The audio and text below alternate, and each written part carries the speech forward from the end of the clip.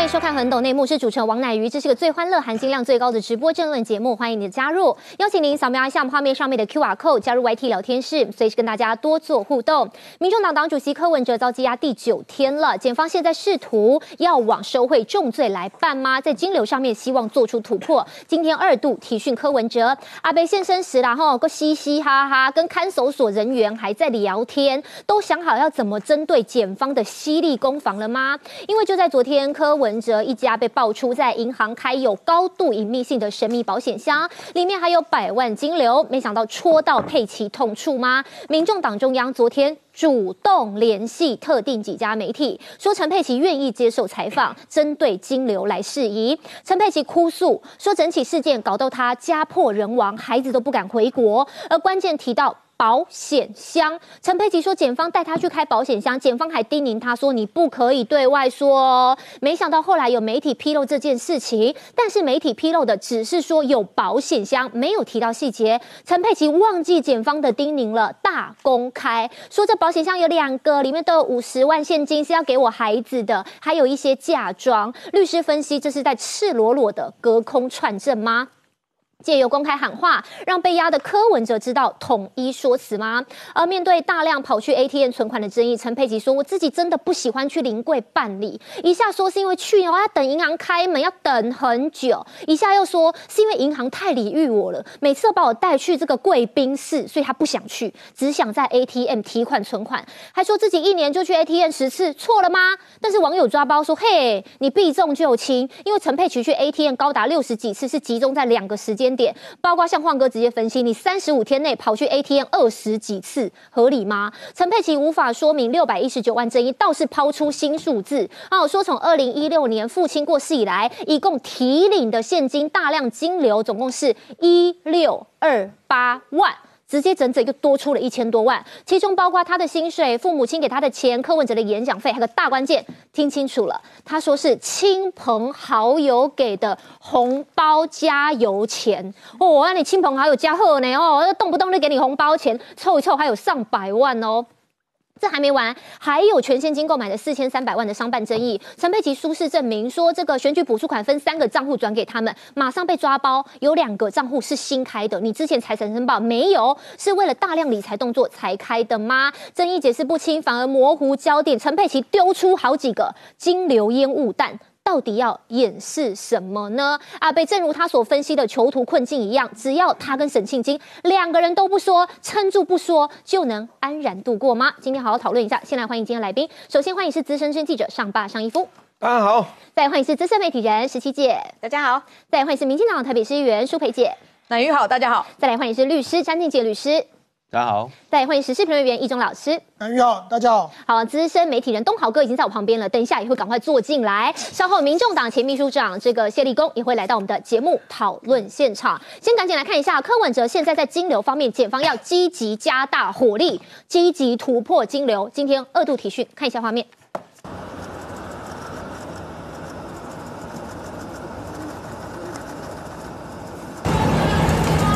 你可以看到呢，今天柯文哲再度是穿上这个看守所夏季制服，也就是黄色的球衣，哈，一样呢也是穿着蓝白拖。但是今天柯文哲倒是心情看起来蛮不错的。你看到在画面中的最后呢，哎，还有心情嘻嘻哈哈，还跟着看守所的人员露出神秘微笑，还两个人还稍微聊了一下天。你画面中看到柯文哲这次所谓的二度提讯，大概是经过了三个小时，柯文哲现在出来了，现在又要回到看守所去。但是我们先来。看到的是苏培姐，嗯，哎，我真的是没有想到啦，哈，阿北在里面蹲蹲了第九天，陈佩琪龟狼突然高调起来，他现在不是被告，他是证人，哎，是戳到陈佩琪什么痛处吗？他突然要跳起来，因为就我们掌握，他是主动联系媒体，主动说有些东西你们要不要采访啊？主动联系媒体要来讲，是因为人家现在说陈佩琪可能会不会转被告？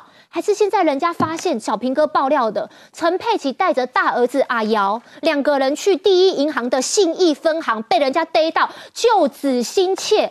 还是他发现金流爬书越来越多了，要赶快去救他的阿贝，救他的老公呢？因为有个大关键，带你看一下，陈佩琪昨天在聊柯家的金流，一共有四块，因为实在太多了，帮大家统整一下。第一块，也就是最新披露的银行保险箱，他说有两个各五十万，还有一个是就是大量的存折 ATM 多次提领，他说大笔的大概是一千六百二十八万，再来还解释了四千三百万的商办，再来 USB 他几乎不想答。我们先带苏贝姐来看一段。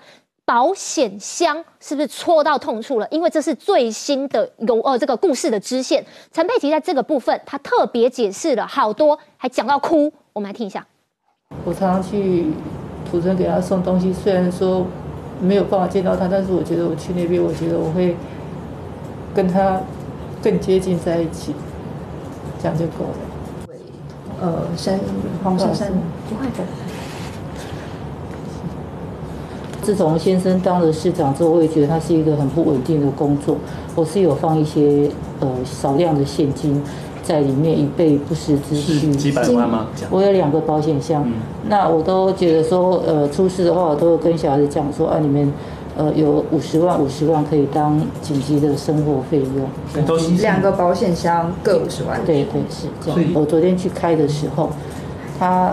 特别交代我说，你们不可以跟媒体讲。后来我的律师就跟你讲说，这句话应该是我们跟你讲的才对吧？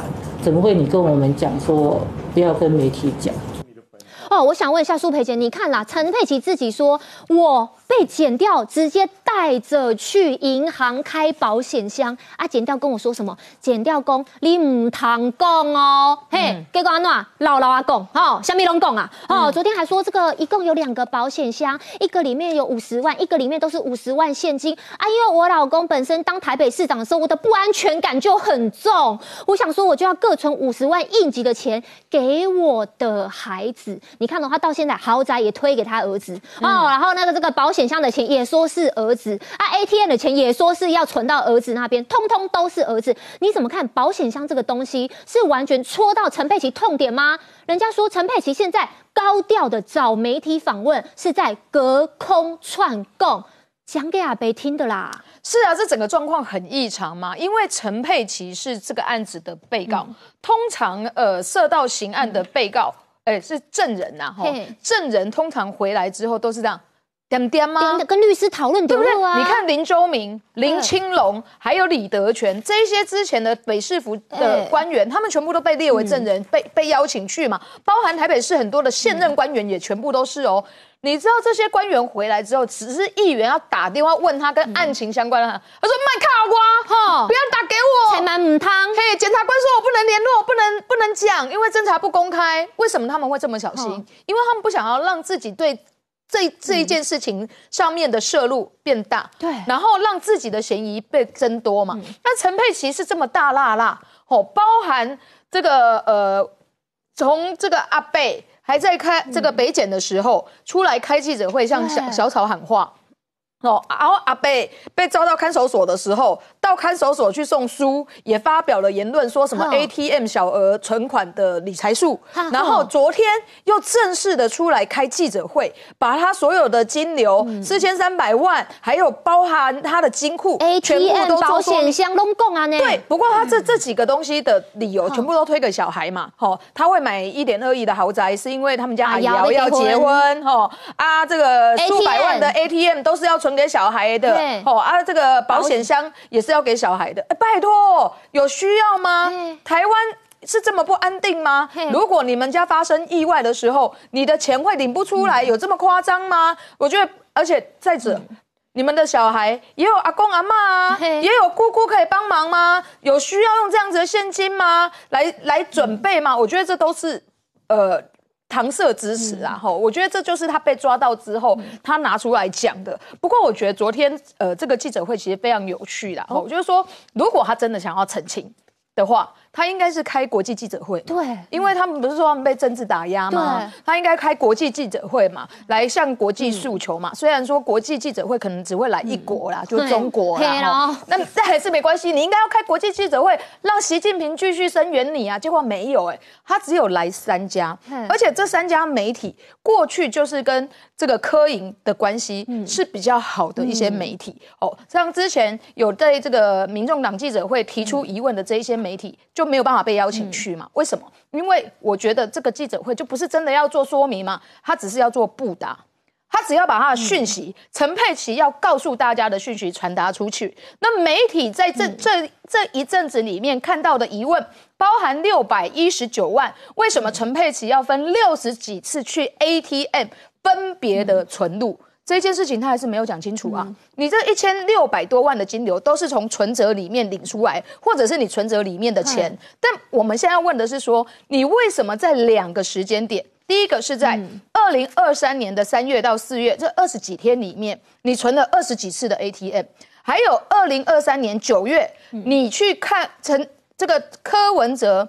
去拜访完沈庆金之后，隔一天出国，然后陈佩琪又开始一直存，一直存，一直存，一直存，存了四百多万呢，就是一直都去 ATM 存。人家要问你的是这一件事情，你没有讲清楚，你就说哦，我有一千六百多万的金流，完全就是问 A 答 B。我觉得昨天看那个专访，我觉得我跟佩奇陷入平行时空呢。对啊，嘿，一共来我能听啊不？有啊，你有的疑问他没有回答，然后所以他不是在澄清，他是在告诉某一些人。某一些事情，而这一千六百多万的不的的的金流的说明。是不是就刚好在解释过去媒体里面曾经讲过柯文哲的的账里面有一千多万的不明金流，这是第一个。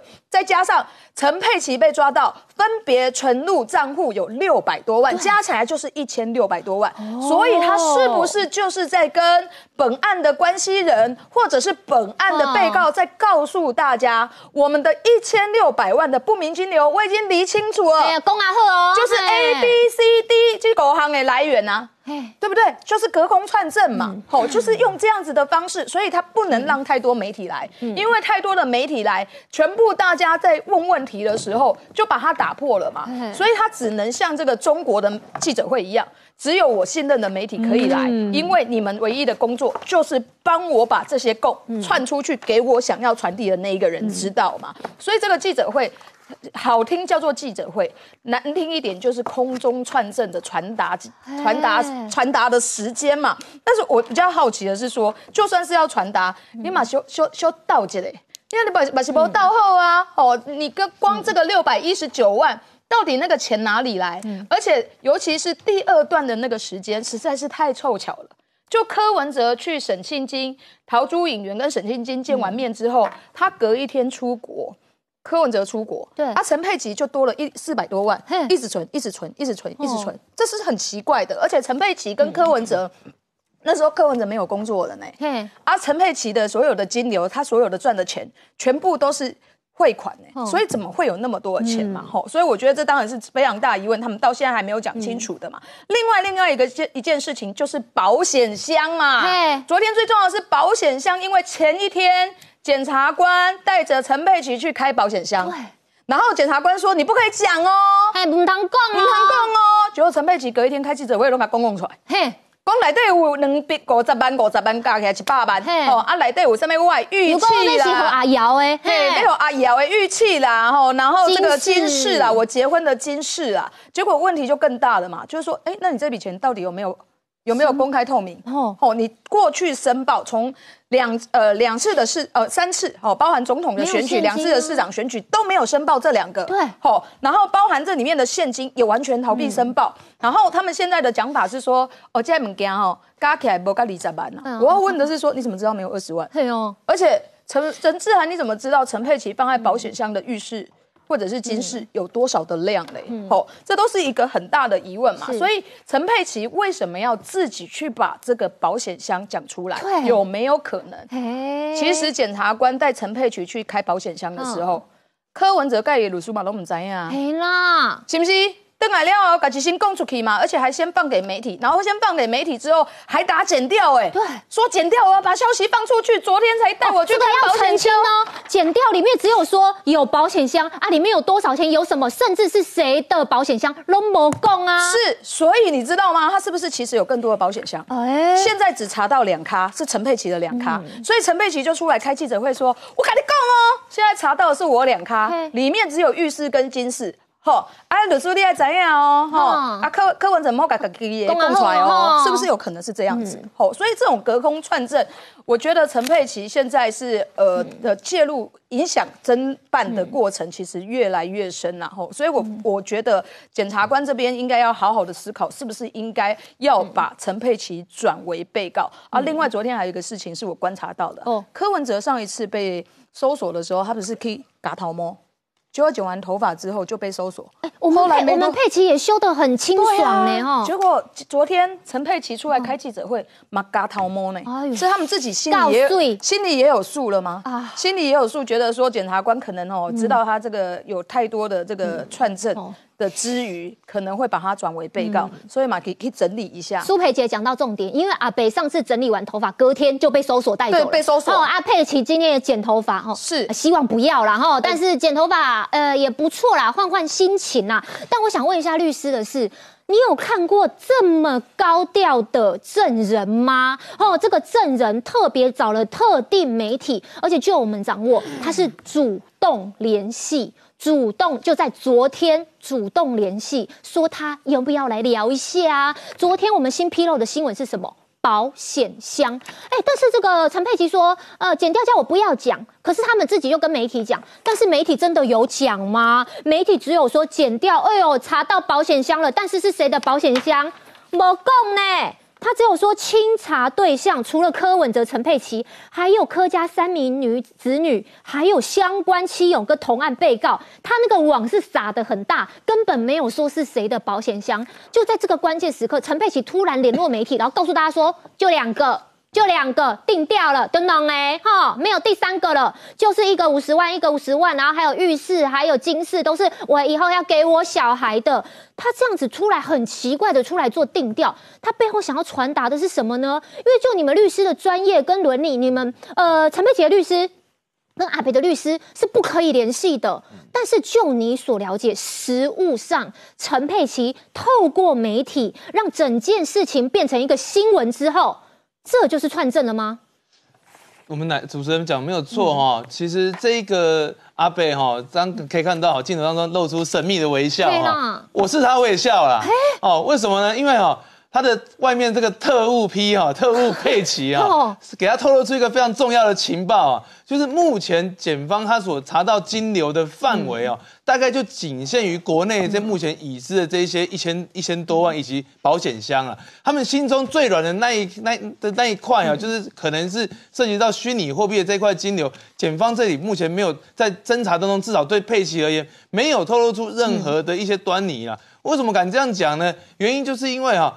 佩奇目陈佩奇是目前是唯一一个用证人的身份约谈有关柯文哲相关金流的证人，所以说他是唯一一个知道检方办金流的范围以及过程到哪里的一个证人，所以他所透露出来的讯息对阿北非常重要，因为阿北就可以继续在里面否认他收贿的犯罪事实。这个讯息透过呃这个陈佩琪医师找这个记者来主动专访以后，阿北已经完全清楚他的底细，至少在这几天他可以很很 很愉快的吃他的 在吃他的。阿北今天提讯那个画面，我们再播一次。阿北有说有笑呢，哎，他跟嘻嘻哈哈呢，对啊，他跟法警啊一派轻松嘛，代表说哎金牛还没有抓到哦，心中最软的那一块还没有。还没有被抓到哈，那确实啊，以我们目前司法实务来看哦，真的很少有证人像佩奇医师这样子愿意在媒体面前侃侃而谈哦。一般而言哦，我们看到的证人就是像刚刚我们苏北议员讲的林周明、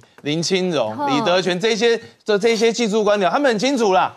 第一个哈，我今天被约谈以后，相关的一些侦讯的一些内容，尽量是三缄其口。因为要第一个要先尊重检察官侦查的行为，哦，检察官代表国家侦查犯罪，你是作证的人，我们要尊重检察官办案的节奏。第二个是最重要是保护自己，因为呢，如果你在外面讲的话跟在检察官面前讲的话，如果是不太一致，甚至是被检察官看到你在电视上所讲的可能是说谎的时候。这个是伪证罪的七年以下有期徒刑，说重不重，说不轻，说轻不轻呢？它就是一个刑事风险。而且佩奇医师他有律师，刚刚他透露的嘛，他有律师嘛，他一定有问过律师说这样子讲有没有法律的风险？他一定是有高人指点。啊，耶鲁书一定改供啊！你真的要这样讲吗？如果正常的律师啊，正常正常的法律意见一定是这样子的哈。就刚刚说这有红黑门，这有可能会，如果你讲的话跟在假官面前不一样的时候，有可能会有伪证嘛，对不对？但是呢，这个反常的行为就是我们刚刚讲的，他必须要跟阿贝透露出现。在金流的范围查到哪里？然后第二个哈，你大家会发现说，他透露金流就算了，可是他讲的那些理透露金流那些理由，怎么好像跟目前啊，不论是网友啦，或者是说目前周刊所透露出来的那些金流理由不太一样啦。就比如说啦，啊，陈佩琪说他，哎，我一年存个十存个十次 ATM，很奇怪吗？对不对？很奇怪吗？但是啊，人家明明明明挖掘到的事实是什么？就是你在。跟金金华城的便当会以后密集的存款呢，存了一百多万，然后呢，容积率八百四十八通过以后，又密集的存了三四百万进去，那都是短期密集小额的异常存款行为，这是洗钱防治法版是直接写在明文规定，就是短期异常密集的这种存款行为。那那为什么洗钱防治法要这样规定？因为就是因为不明来来源不明的钱。才会用这样子的处理嘛？如果今天是啊，今天如果真的是我的薪资，或者真的是首尾钱哦，好这些东西，说真的，哪有什么需要小额存款的道理啊？大部分就一一笔就直接过去了，就直接是汇到哪个户特定的户头。所以这些你被检察官认定有可能是洗钱的行为，这是很正常的。那另外哦，大家会发现说哦，除了他讲的证词跟目前大家社会社会上所知道的资讯不太一致之外哦。他也多了几个东西，他多了第一个选举结余款嘛，对，可是都被小牛打脸了。小牛说：“我你你应该算起对前济公，你你没存，你什么都没存嘛。”啊，对的。然后可是现在却突然多了一个选举结余款，然后再来哈，他对于商办的这个购物的证明哦，他也是他也是讲的只只留一半了哈。因为如果说哈，他今天他今天虽然说看起来很大方，然后把那个建金公司这个中介的这个。购物证明哦，里面里面还有就是这个汇款的账户，什么意银啊，什么富邦啊，这些东西全部都披露在媒体前面啊，可是。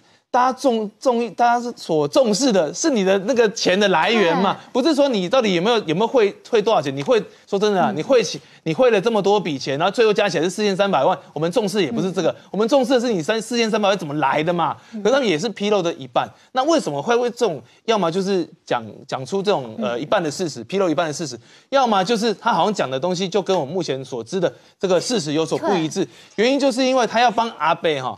制造哦，未来去制造两个高潮哦。第一个高潮是什么？就是在延压停的时候，两个月以后延压停嘛。对对对。因为目前如果假设说没有金流，没有金流的情况下，两个月就最多了。两个月就是就是要开始要延压嘛，对不对？这个时候啊，这中间我只要每天哦透露出一点奇一点讯息，纵使是跟目前周刊或者是目前网友所认知的事实不太一致的时候，信者恒信。不幸者恒不幸的情况之下，会产生对立。有对立的情况下，就有什么？就有政治能量。他要帮阿北继续蕴含他的政治能量，让相信的人继续相信佩奇医师所讲的话。他要让黄国昌笑不出来。好，所以说啊，一当一旦有这个政治能量继续维持的时候，哈，如果今天没有金流，还是要继续压。那这个时候，民众党的口号，就我这边就可以念给大家听啊！还我阿贝，政治破坏，司法不公，啊，这些东西全部都可以，都都可以一一都可以在这边就可以直接预测，有可能未来在严压庭的时候，在没有金流的情况之下，有可能在积继续积压的情况，就有可能有压人取供这样的口号出来，而且啊。如果说真的还是没有金流，就有第二个高潮，哦，就是未来起诉的时候，嗯，因为四个月就有可能要起诉了，对，那四个月如果说这个这个四个月哈，我们检方在这里的金流还是遇到阻碍，因为目前看起来都还是在国内嘛，纵使是找到保险箱了，但是那些金流跟我们目前所预期的高达九位数以上的这个金流哈，目前都还没有到达那个程度的情况之下，阿北他目前最期待的就是你只用图利罪。好，来跟我起诉，或者是说你用图利罪来起诉，还加上要求契约贿赂罪，而不是用有金流的收受贿赂罪来起诉。这个时候压人取，这已经不是压人取供，这个时候就是让民众党的支持者继续高喊司法破坏，因为没有金流，你还去你你还去起诉我的阿贝，这不是司法不公，是什么？啊，这就是这就是车一奇医师目前啊，跟阿北现在目前啊所勾传的一声大戏啊，他就是说让今天让阿北哈可以知道说，反正我金流还是。还是稳稳的然后，没有被查到，所以说啊，这个陈佩琪医师在外面继续透露这些话，对于北检的侦办是有极大的压力，因为要让北检继续查那些金流，所以我们看到昨天应小薇已经被传了，那为什么要传应小薇哈？大家这边可能有些观众可以注意一下家会发现哦，应小薇跟沈庆金这一段的这个这个金钱的金流已经被抓到了，然后对价关系基本上也被被确定了，那这个时候我们会发现啊。应小薇的汇款怎么是国内的汇款？对哦，哦，怎么会是用国内的这种这么比较，就是对减掉而言是比较好抓的这种金流，然后这来来做贿赂的行为？那请问一下，你为什么？对阿北不是用国内的汇款，那一定是减掉，一定会去思考的嘛。那这中间的差别性，就必须要从应小薇的证词以及对沈庆沈庆金的证词交叉比对嘛。这中间为什么有这个汇款上面的差别？那我想这部分也是未来减掉可以继续注意的，因为破口可能就在。应小薇身上，哦，确实，律师刚刚讲到个大重点，检方其实现在有压力，因为他在这两个月内，他要查清楚四年的金流，这个量非常之大。还有个大重点，陈佩琪现在啊，针对图利的部分基本上都不谈了。我现在跟你谈的都是金流，我跟你谈的都是钱的问题，是不是？因为他发现说，现在我只要跟阿贝两个人对好，我就可以保护我的阿贝，不要再被压第三个月。第四个月，我们先讲广告，稍后我们来爬书。昨天看完整个陈佩琪的记者会呢，我真的不不知道从何开始吐槽。你跟他谈 A B C，他跟你聊 B P 吗？哎，你完全搞不懂到底在干嘛。尤其他还讲个大关键，人家说六百一十九万 A T M，对不对？他直接告诉大家说没有啦，纯提哈，这个最大的金流是一六二八万，还用了五大解释来解释。但是大家真的听得懂吗？包括说竟然有亲朋好友的红包。什么红包啊，佩奇姐姐？哈，因为那个沈庆金都说他没有包过红包啊，红包是谁包的呢？我们先进广告，稍后跑书。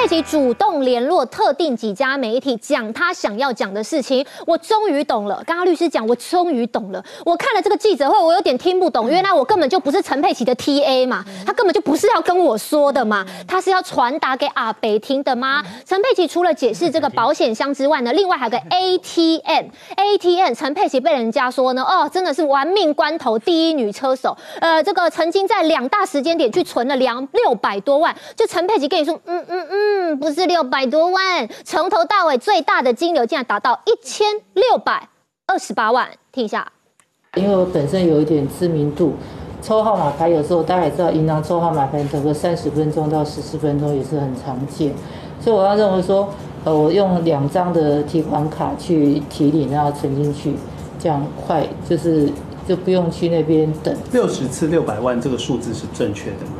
我不知道这个周刊是怎么样算出来的，他应该要跟我讲说，我是从他是从哪一天哪一年的哪一个月算到哪一年的哪个月。那个六年来讲，就是说六百万，那一年一百万，我想也是在一个人合理的一个赠与的额度里面。那如果说一年去 ATM 十次，我我是相信说一般人不会知道说你去年去了 ATM 几次啊。那如果说呃我去 ATM 我都一年十次的话，他就把其中的两次拿来跟金华城的什么便当会跟通过连在一起。那我也是想要反问大家，就是说那剩下的八次呢，你要兜什么东西呢？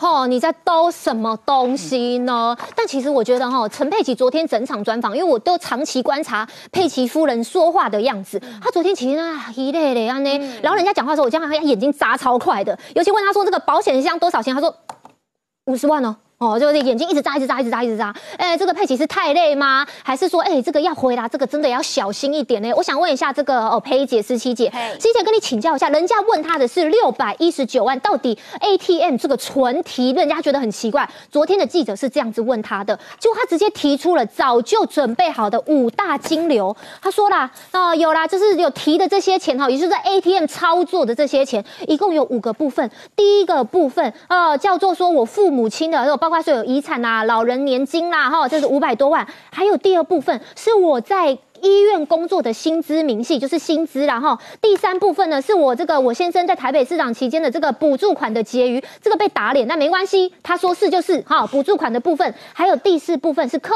文哲的薪资存款一百七十一万，还有第五部分是演讲通告费，还有个大关键，亲友红包。哦，他说他说阿北没有在当市长啊，很多人就想要跟他加油打气。哦，就给他一些红包，但很奇怪的是，这些都用 ATM 操作合理吗？老人年金遗产这个为什么没有在户头里面？还有薪资，这个联合医院应该是用这个汇款的吧？为什么要用 ATM？还有柯文哲的补助款绝对是用汇款的，为什么要用 ATM？还有柯文哲的薪资转账也是不用 ATM 吗？只有最后一块说得过去，演讲通告费、少量车马费等等等，用 ATM OK。陈佩琪这个时候又吐出了 一六二八万哦，我看有一个媒体人直接形容说，这个叫北韩的什么，你知道吗？北韩的大便气球战术。哦，直接在空降，啪！哦，让你鬼玩跨龙德，让你直接来个烟雾弹。他搞这一出，确实很多人已经快要忘记陈佩琪到底是在讲什么，金流乱到不行哎。这就是声东击西呀，他就丢出另外一个东西，然后好像就让你忽略了。哎，之前我们在问他的东西，所以他说啊，我跟你讲，其实哦，有一千六百多万。然后所以呢，之前我们一条一条去追的这些。他好像就可以不用解释了，我们大家就会关注说，哦，原来有一千六百多万。他这个招数哦，跟黄珊珊在讲那个他们竞选总部的选举申报啊。不符，赶快，对不对？那个手法是一样的。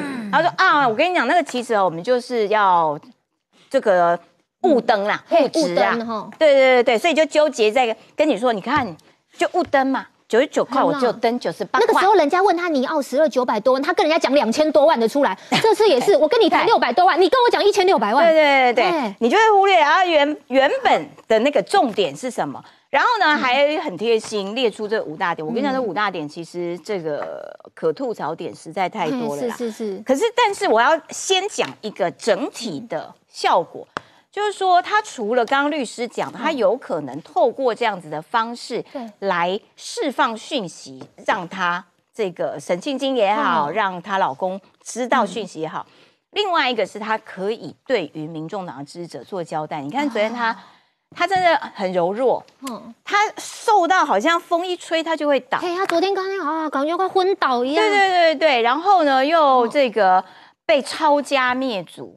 然后家破人家破人亡，而且还哭。哦，那所以那个效果上面来说，哇，你看，好可怜哦，怎么会这样？不要再追杀。对，大家都在追杀，这实在是很不应该，有没有？然后就用一种情感面的情绪勒索面的方式来这个巩固他的这个合理合理性。这个是政治上的操作了，就是政治效果。我坦白说有效果哦。对于小小草们来说，对，你看佩奇医生真的是被欺压的很惨，然后这个啊，不要再这样子折磨他。你看他受到都都已经这个哦啊，家破人亡、妻离子散的哈，不要再追杀他们一家人了。好，回到那个重点，那个重点是说，司法的归司法。政治的归政治，你们不要想要用政治的手法操作来影响司法，情感情绪勒索也不应该成为你影响司法的工具，因为司法就是看证据，所以不要用情勒，好不好？也不要用政治来这个赖清德放人，没有这回事。回到这五大项哦，每一大项我都觉得很离谱啦。第一大项，爸爸留给妈妈的遗产。几百万嘛，对不对？加上妈妈的国民年呃老人年金嘛，不是啊？啊，就在账户里面把它领出来干嘛？啊，你把它领出来，又再把它存进去，到底要演哪一出？对，你为什么要去领出来，再把它存进去？然后结合了你的 你自己的这些薪水，就是这边要领出来，这边也要领出来，然后通通领出来，存进去，再把它存进去。不是啊，这很奇怪，而且。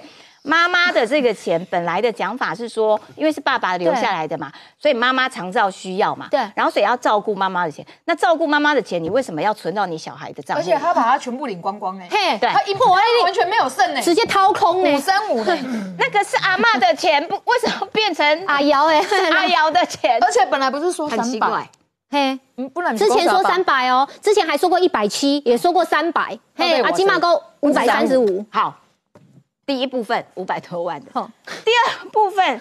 这个他在医院的薪资也是也是直接新转入账，然后他也要把它领出来，然后再存进去，这个也是很妙啦。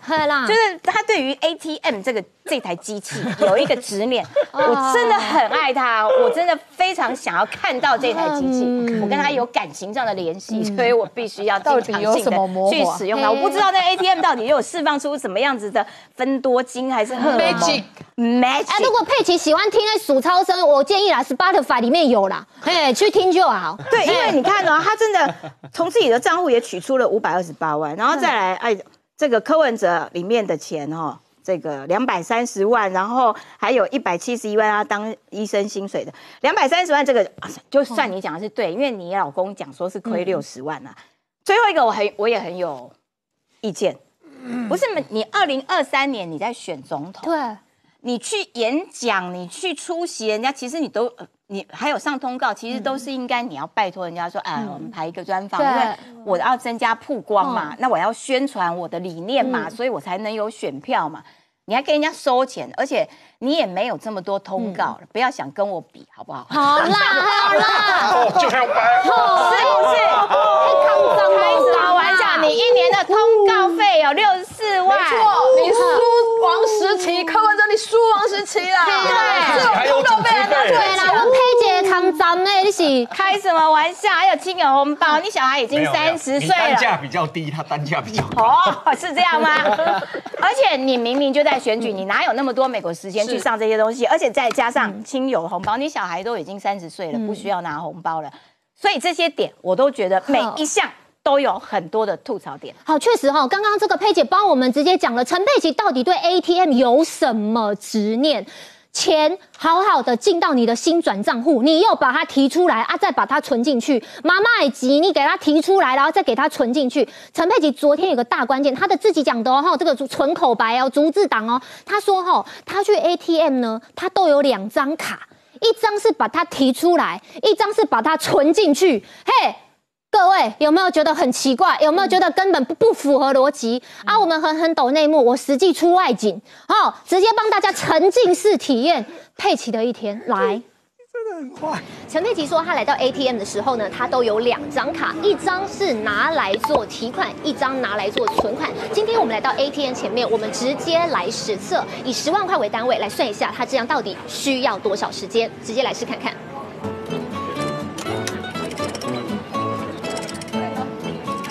个十百千万，十万，这样是十万，确定。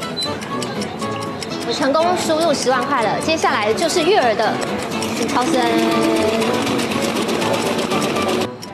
成功。我们现在已经一共提出了十万块的现钞，目前我们就已经花了快要一分半的时间了。那接下来陈佩琪说，他只要把它提出来吗？没有，他也用这个把它存进他小孩的户头。我们接下来继续实测。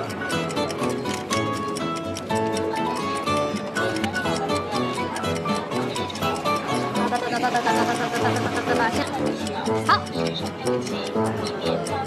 好我们现在呢，总共呢是大概花了三分三十秒，才成功把十万块提出来再存进去。但是奇怪的是，陈佩琪这次披露出来说，总共在 ATM 的金流是有六百多万，甚至有一千多万吗？那这样不就是三分半乘以 n 次吗？尤其在这个所谓的 ATM，每天都会有存款或是提款的上限，来来回回，来来回回这么多次，真的有如陈佩琪说的，这个真的比较方便吗？而且先提再存。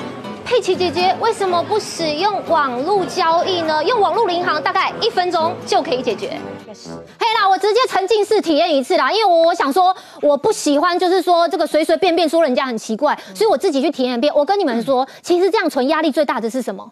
压力最大是后面有人在排队，哎，后面有人在排队，后面的人可能急着要买一碗面，没有现金可以付，然后我在那边按，其实我很紧张，哎，哎，但你很难想象说陈佩琪如果一天最多哈，而且我那一台算是很快的，可以十万块的哦，很多可能是三万哦，不一定哦，那个额度不一样，那个是要搞很久的呢。啊，陈佩琪跟你说，他每次就就是两张卡啊，这样这个提出来再存进去，提出来再存进去，没啦，嘿，手机按一按七一七就有了啦。我想问一下东豪哥，你看我刚刚这样子随便来做一个测试哈，就今天中午跑去附近的这个哈这个 ATM 测测试一下，就很奇怪嘛，人家笑说我陈佩琪今天是小儿科医生呢，很喜欢小额存款呢，哦，这个不合理嘛？啊，你怎么看？他目前披露出来的这个一千多万，不一千多万，他他就他就讲嘛，讲的越多越好啊。我我昨天我也去体验一下，可是我没有。你也有去吗？可是我时间好短哦。因为你没有提了又存呐。没有他提不管我不管是提还是存，我都时间都没那么长啊。没有啦，因为我有一百张，你可能没有。我没有那么多，你知道吗？好了，不过你再回来看呢，哈，其实陈佩琪现在讲这讲的越讲越多，检察官你会在偷笑，因为你讲越多，你公开讲，你不管不管你是找几家媒体啊。检察官陈佩琪讲的这所有东西，只要是在台湾的银行里面有的东西，检察官手上都有一份。那这一份呢，它不是现在才掉的，从五至少应该五月的时候，这些基本资料就掉进来了。也就是说，如果你今天你是检察官，你在你在五六月呃，你看五六七八到八月动手之前，这些账户早就看完了啦。嗯。那你这些账户看完之后，你要做什么事情？我是看你的上下游，比如说柯文哲的部分，陈佩琪的部分比较单纯，就他的上游是谁？那为什么那时候新闻会跑出来？就是因为你用现金存款，现金存款往往往被视为断点，然后这现金存款跟陈佩玲列出从二零一七年一直到现在一千六百多万的收入，是不是每一笔都可以对得起来？我们举一个最简单的例子哦，现在也有人。在找，因为他选总统的时候要申报嘛。嗯嗯。他二零一三年总统总统候选人财产申报里面现金是零，没有写空白，空白，就说他已经低于一个程度了。然后昨天记者问他保险箱，他说他有两个，各五十万。保险箱是在他的名字底下，所以那五十万是什么时候存的？是去年你就存了，还是今年选完以后存的？嗯。如果是今年选选完以后就存的，那你在这段时间你动过，嗯嗯，好动过，但不代表犯法啊。但是检察官这个时候会干件什么事情？因为保险箱进出都要都会都会有记录，他就会看你进出多少次。嗯，就是光一个这个这个还只是呃潜，我们讲说办案哈，有深水区有浅水区。你听，我们听到一个保险箱，这个对检察官来讲不是深水区哦，因为它都在台湾，对，都在银行，哦，还在可控范围内，就我很容易查证。对，深水区是在什么地方？比如说，这个这个交易四千三百万的房那个呃商办买卖是真的还是假的？嗯，啊，或者说这个这个这个商办的买卖四千三百万，我们那时候发现它跟过去的这个实价登录里面一平多八万，啊，那这个。这个差额是真的还是假的？也就这个交易啊，有一种我不是讲这一笔四千三一定怎么样，可是四千，但是有一种状况要检察官一定会去考虑，就是说他这个交易有没有交易？有，嗯，可是交易的金额有没有被灌水？这个要去判断。嗯，那这个判断的基础当然不是用讲的，我要举证，我要我要知道说这个交易是不是是不是可靠的，不是看。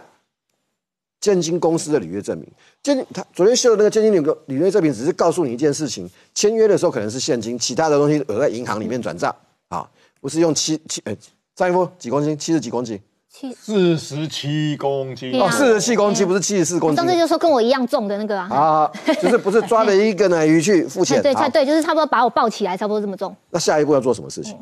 因为你注意看哦，检察官 就如果我们在讲这段时间有侦侦查消息外泄的话。四千三以后的东西，四千三以后，两兄弟原原屋主两兄弟是不是就就把钱一人一半？对，一人一半，跟他们这两个人要干嘛？如果按照柯文哲讲的，他要移民，那移移民会做些什么事情？这些动作有没有吻合？嗯，还有还是说我们呃，就是我们讲用那种怀疑的精神，以要移民的名义把钱汇到美国？嗯。那这时候你要做一件什么事情，你知道吗？我要去看诚信兄弟汇到美，如果是你汇到美国的时候，美国的这个账户跟他们关跟这陈这原屋主陈姓兄弟是什么关系？是汇给自己的账户，汇给子女的账户，还是发现哎，万一啊，我想万一啊，万一他会因为要移民美国嘛？柯文哲讲的嘛，万一汇到美国的账户是一个看不懂的账户呢？如果是后者，哦，如果是后者，这个会加深检察官的疑虑。我刚才讲的这一段只是四千三这一块，它可以很单纯，也可以很复杂。深水区是他们有没有把这四千三做海外汇款？如果有，检察官一定会多想一点。所以你回来看陈翠陈佩仪这个所有东西哦，他只是告诉你一件事情。好，他做了一个功课，把二零一七年以后的收支全部列出来，我就相信你是真的了。可是你的支出账呢？嗯，两者有没有吻合？然后呢，你你如果调到太细节的时候，哈，我们会看不到一个完整的图像。所以你在看他在讲所有东西的时候，你掉到太细节的时候要小心，因为以前我们在跑新闻的时候，也会有当事人私底下会找记者去，会讲很多。可是这时候我们通常都会问呢，核心问题。嗯，他的核心问题还是两件事情。那个图例，那个图例是在什么？为什么你要帮沈庆金做这个事情？有那个动机，动机是这是核心啊，这是核心。然后再过来才是沈庆金。如果真的像我，我觉得那应该是检察官检，呃不要不要讲检察官了，不一定了，办案人员很多啊。嗯。侦办单位，侦办单位有调查局，有廉政署，有检察官，检察官下面还有检察事务官，一堆人啊。如果这个单办案单位真的放了一个消息说。沈庆金在过去那段时间特定时间里面，一共洗了四四点三亿，分两批的话，那些钱的流向，那个才是那个才是真正真正有趣。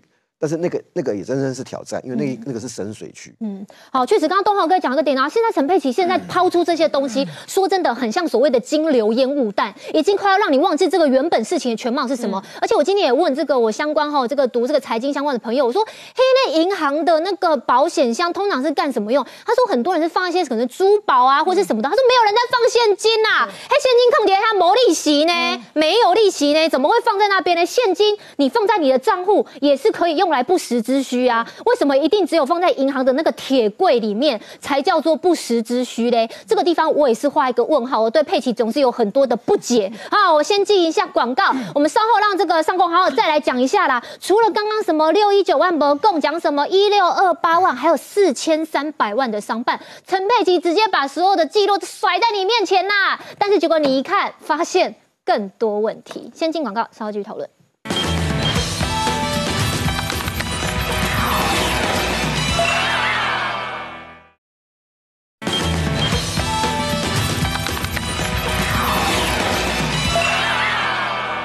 陈佩琪在昨天呢，主动联系了特定几家媒体出来专访，讲了很多东西，讲了这个保险箱一共有两个五十万五十万，还讲了一六二八万，他总共去提了这些钱，但是真的就是一六二八万吗？人家想问佩奇啊，昨天的记者最后还说，呃，佩奇，请问你还有要补充的吗？各位，接下来这段才是重点。他说你还没有要提供一份给检联证明你说的话是真的吗？陈佩琪突然。好，话锋一转说，呃，其实还有一些小账户的提领呐，但我一时也不是记得很清楚，也没空啦。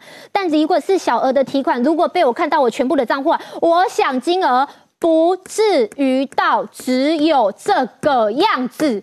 所以，我们刚刚讨论的一六二八，讨论老半天，人家最后的结语是说，其实也不止这些啦，哦，其实不止啦。所以哈，这个最最后的真话呢，都留在访问的最后面，才慢慢的吐出来吗？我们先讲广告，稍后一种老师私企上钩，一棒接着一棒，告诉你陈佩琪昨天披露这些东西背后包裹着的是什么样的简便工坊呢？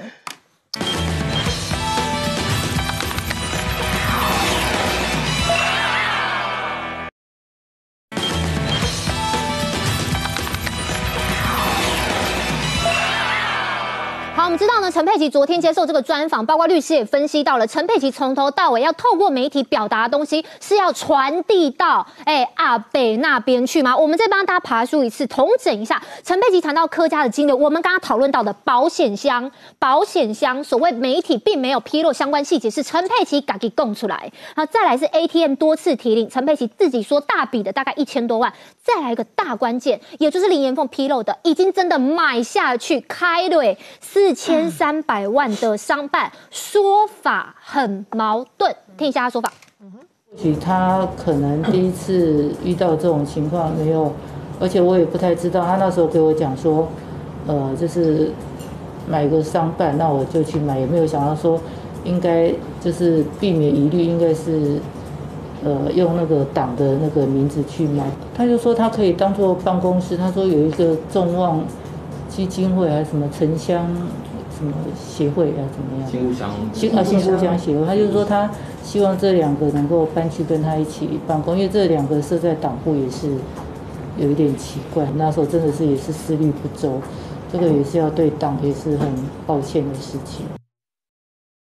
好，上工还在吃萝卜。我先问一下易中老师哈，易中老师，排水，我们那个上工还在嚼那个萝卜。好，跟你请教一下，在商办的这个部分，陈佩琪之前曾经被今天爆料说买了柯文哲的名字，四千三百万商办，到底钱哪来的？他们说是用补助款，对，但是大家迟迟看不到汇款证明。陈佩琪终于丢出新东西了，但一丢出来，人家发现。更多一点，对，就是他他不丢还好，一丢出来问题还是更多。我先先拉回来讲，陈佩琪昨天大家没你们刚刚都没有特别讨论到，陈佩琪昨天除了剪头发以外，他还戴口罩啊。你不觉得戴口罩这件事情很奇怪吗？他之前在北所外面接受访问的时候，其实所有的麦都了他的时候，他也没戴口罩啊。那他昨天为什么戴口罩？你知道为什么不？为什么？然后在讲北菜的孙吼，嘿啊，表情会被看到，他的嘴角，所以尽量挂挂口罩，就是有一些那种嘴角那种。不不小心的抽去把它盖住，有道理哦。所以这个是第一个，因为你不觉得很奇怪吗？昨天就没有没有道理他戴口罩，除非他跟大家说啊，不好意思，我得了 COVID nineteen，那这是我的确诊证明，那我戴我就算了，你都不洗，所以这是第一点，就是。你准备要来攻北而且他昨天讲的时候眼睛扎到，我就想说他眼睛怎么了？因为紧张，他平常后面还有人压阵，昨天没有，昨天他有人是单独，虽然那个已经塞过，旁边还是有人呢。对，但是但是还是会紧张。我就是这样，好，等拉回来讲，就是说他昨天他讲这个房子的事情嘛，那他说他是因为忧郁症，所以你们刚刚乃云你真的很坏，你干嘛说人家为什么要去 ATM 这边存又出来？因为他忧郁，他心情不好，所以看到那个现金这样唰唰唰唰唰唰唰，除了生意以外，还要去摸，他一叠十万块、二十万这样子去摸，感受那个钱，那个钱钱的味道，摸一摸就，尤其那种比较新的纸钞，哇哇，就就清醒了，你知道那个感觉很好，对，所以 fresh，所以你你不懂人家，人家就是叫这样子感觉哈。那除了这个以外，他也讲说他心情不好，所以他要去买商办，因为他那个时候他说他就比较状态比较不好，比较忧郁，所以他买这个商。办就是有点就是舒压哦，那很好，就舒压。但是问题是啊，因为他跟阿贝的说辞就有点都不拢嘛。阿贝在八月二十九号还没被压之前，他说为什么？人家说为什么那四千三百万的商办用他名字？他说因为这样子啊，监督力道更大。你看到没有？但是张佩奇公拍谁啦？佩奇我不会啦。好，虽然名字登记在阿贝名下，但是那个全部的那个从总找中介啊，这些金流都是陈佩琪。然后昨天就秀出来了。好，他总算秀出这个金流，就是这个。商办的金流这四千三百万，然后来自三个户头，这个大致上他他很清楚。但是我们要质疑的事情是啊，哎，这里面还是有个蹊跷，什么蹊跷？你敢不知？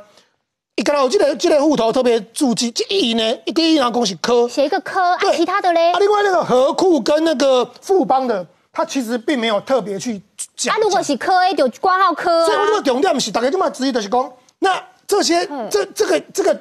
和不管是和库或是富邦的，第一个真的是你老公的账户吗？第二个那个钱真的是民众党汇进去的吗？你一共有些他说因为这是民众党的那个选举补助款，那真的是民众党汇进去的吗？这个其实他佩奇昨天并没有去解释这件事，这个也但是他很合理，因为他为什么要不让你他他为什么不开国际记者会或不开大型记者会？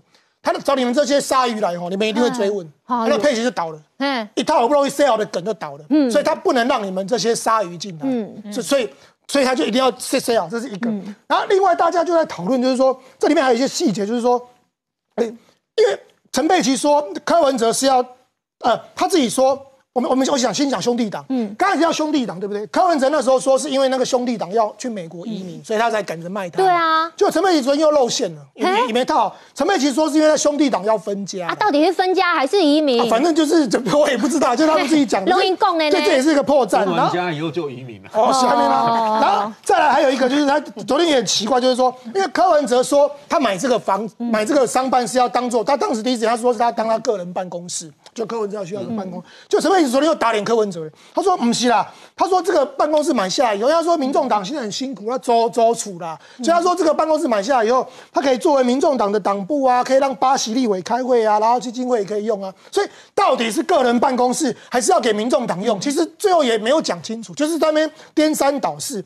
但是我我平常讲，我我我我很佩服他，就是说，他其实是做好了万全的准备。哦。佩奇为什么选在昨天？然后讲这么多的隔空串证，然后柯文哲今天心情很好，因为我怕佩奇没有机会讲啊。怎么会？我有点担心，因为我们知道柯文哲是台湾曼德拉。嘿，我现在很担心陈佩琪成为台湾翁山书记。没有，没。你想太多了，因为佩奇一直希望说他跟柯文哲可以再近一点，你可以再靠近一点。所以原本是心靠近，哎，安娜奇去土城就真的身体也靠近。而且大家等于你知道吗？跟跟跟会分开啦，土城是男女所分开，但是至少点对点还是新啊。对对，那重点来，你知道，其实减掉办案是这样，大家有没有注意到，陈佩琪只被剪掉约谈过一次，以证人的身份去约谈，然后隔了这么久，目前都还没约谈。大家知道吗？李文忠第一次被约谈的时候，也是以证人的身份约谈，第二次约谈完以后就两百万交保。我现在很担心陈佩琪下一次约谈哦，可能状况不是太妙。哦，而且你知道中秋节，我们月圆人团圆，所以剪掉不会在中秋节出手。就想说，反正礼下礼拜二就中秋节，至少让他在家里把月饼，然后跟他的科父呀儿子，好不容易从回美国回来，大家就是聚一聚，戴柚子帽，对，然后就是大概能故乡的月亮看一看，吃一吃。我很担心礼拜三。哎呦。我担心争论节目了，我怕你们晚上又要开 live 了，因为万一礼拜三佩奇不要乌鸦嘴，万一他们约谈的话，那可能会有很长的一段时间。因为剪掉现在收集到很多金流，那陈佩琪虽然昨天塞了这一套金流，可是大家光我们在外面就破绽百出，万一进去的话，检察官对他问的时候，他那里面的破绽可能会更大。那这样子，我问你，东华哥是跑司法，那如果检察官的检察官掌握的金流跟陈佩琪在里面约谈的时候的金流没办法对上的时候。哎，该不该呀？嗨呀嗨呀嗨呀嗨呀啦！人家人家已经已经在记者会跟你讲说赶尽杀绝，没有赶尽杀绝啊！不是你如果坦诚，你把所有的事情都像你们当年 M C 一四九这样，把所有的事情一次讲清楚，光明磊落记者会，你就开说五六十家媒体全部让你们记者一次问到问到饱。那其实说真的，社会上也就大家不可能。不可能，不可能，因为因为你看不起，就像他为什么要带那个棍？他如果要问问到宝，不如来上节目。嘿，哎，欢迎，哎，我们很懂那个，还有个机会，哎，举手，我懂我懂，我懂我找到了，哎，但我已经不想举手了。下下礼拜一下午两点，抖内幕还有节目在。佩奇，因为我因为中秋节以后我怕他出不来，所以所以下礼拜一，我我改一个，是最后的机会。我改一个，我买保险呐，哈，我已经我已经约好几次了，每次都被那个哈，上次约约，最后也说什么没有啦，他最后也没有想上阿北。上次我每次都真心换绝情，嘿，好，好啦，你要上来是可以啦，这次要你主动，我不主动，然后我们女生不喜欢一直主动。最后再补充一件事情，她她老公真的是预言家，很多其实她都已经自己预言了。这是她老公在二零一八年的预言。哦，二零一八年那时候柯文哲我怕，那时候连任市长的时候，大家知道这个木曜四超完，他那时候拍着台资源的身体说：“孩子，我没有政党，哎，民主党是二零一九才成立，我没有财团，我没有基金会，我家也没有开公司，还有，也不是家里很有钱。这个时候的柯文哲讲话，如果今天发生金华城案子，大家可能会觉得，哎呦，那可能阿飞。”他全干了，那就所以后来的阿贝就是完全跟他当初的预言完全相反。对，他那个买一个上亿的房子，我又不是付不起。所以他当初说基金会是魔界不套，他现在手上满手都魔戒。而且人家说现在十只魔戒通通凑齐，到底谁让阿贝有钱买魔戒？是沈庆金吗？啊，为什么小沈一五零零完隔天基金会就成立了呢？好上工假爸爸。假爸，假爸，呵，上工，好，上工要上工了。我问一下上工，哎，这个陈佩琪开了这场记者会，刚刚我们爬书那么多东西，保险箱自己主动提，后啊，再来还有 ATM 讲的这个说法很奇怪，讲出了一千多万，他自己都讲到提出这些钱金流就这么大笔，还有刚刚最关键的商办，商办的部分，你刚刚是打嗝吗？对对，好的，上工在打嗝，是是是，好，很商办的部分呢，现在被逮到说，民众党把这个补助款分三笔会给他，四月三十号汇的。两千多万，两千五百万，两千五百万汇过去，结果被卓冠廷逮到说你在财产申报当中，我们只知道你有这个所谓的和库台大分行啊，利益银、富邦东门这块，哎，这新的呢，人家说，哎呦，那怎么选完之后理财动作特别多？上公你怎么看？昨天这一审出，第一个就是。把时间拉长嘛，把关注的焦点稀释嘛，这第一个嘛。第二个还是隐喻到政治上的破坏问题、追杀嘛。当然里面金额的问题，我觉得刚才都谈很多了。嗯、其实是真的是拿一张提款卡就提前一张存钱，那请问一下，这些钱提出来到底存在谁身上？没有，这第一件事啊。你到底存给谁？他说存给小孩。好，那既然你都可以存钱给小孩，那请问你为什么要摆保险保险那个保管箱？嗯嗯，你直接汇给你去开保险箱的时候看到现金，你小孩直接不是汇到你小孩那边更有保险吗？随时要用都可以用啊，干嘛干嘛要用啊？而且你注意看他的说法是说台北市长工作非常不稳定，所以要存。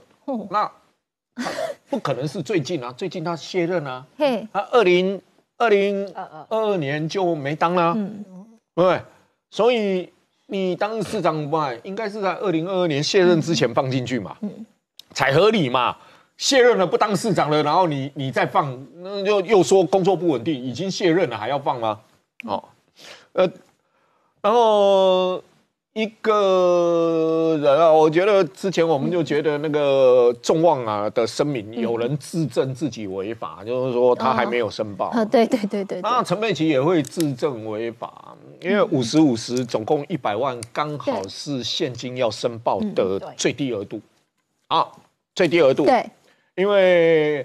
呃，财产申报法里面是规定现金在一定额度以上，一百万啊。实施细则里面是指一定额度为一百万，所以它符合申报而未申报。哦，如果说你给小孩应急什么，就很奇怪，你到底要推给谁？这五十万到最后他一定跟你解释我赠与啊。因为我一年可以挣你多少钱啊？怎么样？这种事后理由，你你一次不能不能说清楚，人家质疑什么，他讲什么。嗯，当然，回过头来，大家还是要问的，就是你的金流上面可能性的问题里面解释或是提出证明，他是帮你拉到二零一六年到二零二四年，嗯，平均一年提领的次数是两百一十几万。两百一十几万了，那大家在问的是你集中在那三十五天的问题，一百五十七万，这一百五十七万是从哪里来的？你能不能把细目拿给我们看？哦，你既然都敢公开，那你给我们看细目，那二十几次的进出细目，金钱是从哪里来？进去是从哪里进去？啊，你今天所有拿出来的东西，检察官早就有了啦。检察官检检察官为什么会说一个不明嘛？嗯，就你的解释可能不被接受嘛，不被接受嘛。然后现在就是你说众望基金为什么办商办的时候把众望的新故乡党部都挤在一起？对啊，二楼跟三楼还是不方便嘛，集中在一个楼层比较方便嘛，是这个意思吗？就是说，呃，那什么，大家说众望木可跟什么，呃，是不是一套人三块招牌？啊，现在陈佩琪是说啊，不，没有没有，以后我们那个呃四块招牌塞一堆人，那你们是说党中央吗？什么什么全部要塞进去吗？这合理吗？我我不懂了，这合理吗？换言之，就是你要把商办大楼预期就是要租给党中央，租给新故乡，租给众望，再从那边收租金吗？如果你这一栋没有被发现，你就要收租金吗？从个人办公室一直转，一直转，一直转。这民众党反正，呃，初一十五，月亮反正都不一样，嗯，所以每次的说法都不一样。我觉得这个记者会并没有什么事宜太多，他只是你注意看，陈佩琪讲到他的他的金流的时候，最近一次是什么时候？就除了十二号这一天以外，是哪一天？九月八号在群众运动上，然后还在批司法。九月十号就出现了四次不同的口供及六百多万，他这一次又出来。隔两天后，他再出来讲，其实讲一千两百、一千六百多万。一千六百万。其实某种程度上，他有一点跟检察官在你来我往的味道，包括连保险保管箱的事情，你来我往的味道。当然也有可能是讲给柯文哲的律师听啊，因为柯文哲在里面听不到嘛。嗯。律师律见可以跟他讲嘛，讲给柯文哲的律师讲啊，因为他证人嘛，证人跑哎，陈总，证人跑去跟被告。的律师讲事情会不会有法律问题？好难哦，问问问的讲哈，呃，通常来讲，像柯文哲被告被羁押，通常检察官当然会跟家属做说明，因为因为因为柯文哲被关在里面嘛，那很多律师费在付，一定是一定是家属帮他付嘛，柯文哲不可能在在北所里面付律师费嘛，可是可是陈佩琪又是正的，这个这个真的有点麻烦，所以通常检察官会在这一块会放松一点呐。就你们两，你们、你、你们要要要串，不要串的太离谱就好。但是，我现在担心的是跟一中一样哦，就证人、被告哦，在财务这一块，有的时候只有一线之隔。啊。